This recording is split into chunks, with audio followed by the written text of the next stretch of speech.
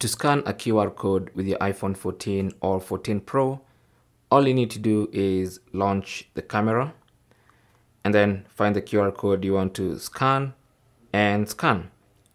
It should automatically scan any QR code.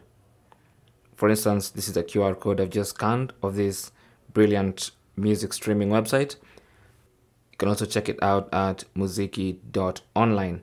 Anyway, if for some reason your camera does not automatically read QR codes like this one, then you might need to enable that in the settings. So go to the settings. On the settings page, scroll down to camera.